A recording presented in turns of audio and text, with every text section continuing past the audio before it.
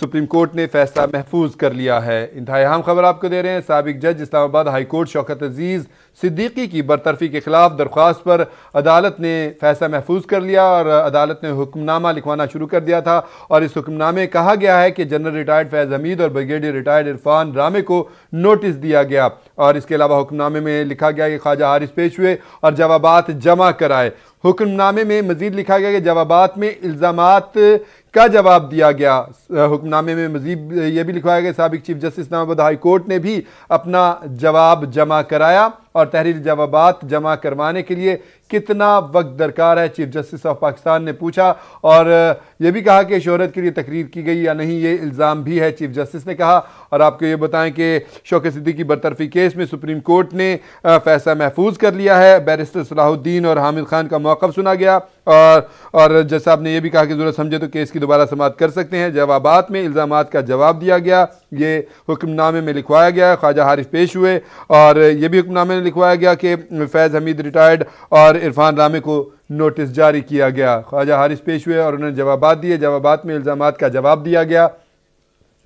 हुक्मनामे की जो है, तहरीर चीफ जस्टिस ने खुद लिखवाई। सबक chief justice, Islamabad high court Shaukat Siddiqui की बरतरफी के हवाले सुप्रीम कोर्ट ने फैसला महफूज कर लिया। आ, हमारे साथ नुमाइंदा Capital TV Nisar Abid line पर मौजूद हैं उनसे मजीद अपडेट्स लेते हैं। जी निसार आबिद बड़ा अहम केस था बड़ी बड़ा तवील सुनवाई हुई है इसकी। बताएँगे ज़रा इसमें क्या अपडेट्स हैं?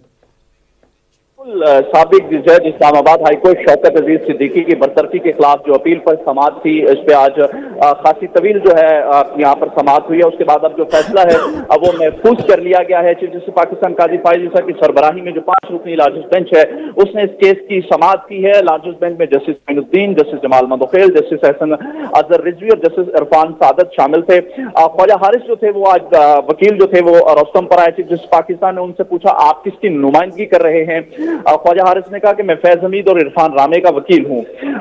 वकील जो हामिद खान है, उन्होंने ये कहा कि मैं मामले की फिर इंक्वायरी होनी चाहिए। वकील जो शौकत सिद्दीकी हैं, उनका कहना था, सुप्रीम जुडिशियल काउंसिल सदर पाकिस्तान को बिना इंक्वायरी कोई रिपोर्ट पेश नहीं कर सकती। जस्टिस जमाल मंदोखेल ने कहा कि आपके मौकल पर इल्ज़ाम क्या है? हामिद खान ने कहा, मेरे ऊपर तकरीर करने का इल्ज़ाम है। वकील हामिद खान ने कहा कि सुप्रीम कोर्ट मेरे खिलाफ हुक्म को खत्म करे। इसी तरह जो वकील है, ख्वाजा हारिस से सफसार करते हुए कहना था कि क्या आप पर इल्ज़ाम को तस्लीम करते हैं या मुसरत करते हैं? ख्वाजा हारिस ने कहा कि तमाम इल्ज़ाम को मुसरत करता हूँ। चीफ जस्टिस पाकिस्तान ने कहा कि सबका रजिस्ट्रार ने जवाब जमा करवा दिया है।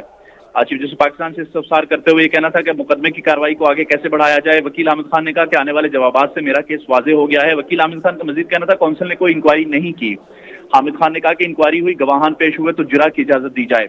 इसी तरह वकील आमिद खान का कहना था कि आर्टिकल 6209 के तहत कौंसल सदर के बगैर तहकीकात मुझे हटाने की सिफारिश करता है। इसी तरह शौकत अज़ीज़ सिद्दीकी जो है, उनके वकील हामिद खान जो है अदालत में पेश हुए। हामिद खान ने कहा कि फैज हमीद इल्ज़ाम की तरदीद कर रहे हैं।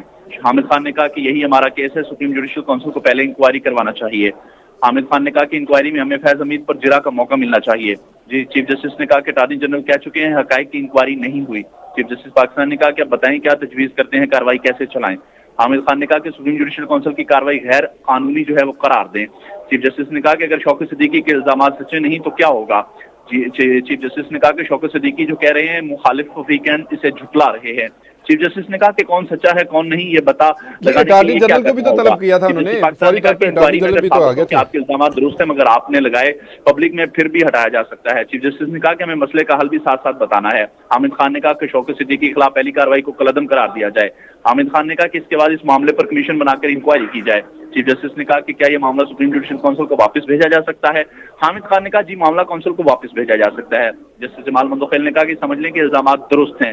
जस्टिस जमाल मंदोखेल ने कहा कि लेकिन एक जज के लिए मुनासिबता के ऐसे बयान देते। जस्टिस जमाल मंदोखेल ने कहा कि आप तकरीर से तो इंक्वायरी नहीं। चीफ जस्टिस ने कहा कि क्या किसी जज को ऐसी तकरीर करने की इजाज़त है? वकील हामिद खान ने कहा कि तकरीर से तो इनकार नहीं किया जा सकता। जस्टिस